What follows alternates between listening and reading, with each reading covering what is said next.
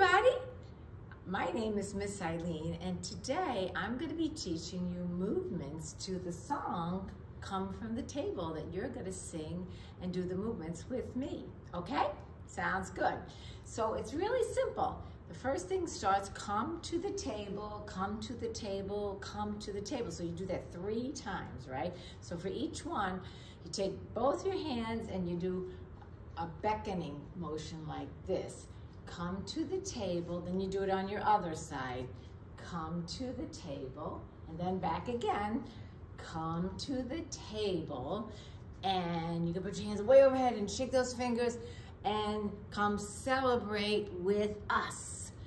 Come celebrate with us. Got it? Okay. Second verse is, we are all welcome. So you're gonna tap, you're gonna take your right hand and tap your left shoulder. We are all welcome. We are all welcome. We are all welcome. And the same thing. Come celebrate with us. Yay. Okay. Next one is let's have a party. Yay. We're going to roll our hands, can shimmy those shoulders and take it down. Let's have a party. Let's have a party. Let's have a party. And you know it. Come celebrate with us.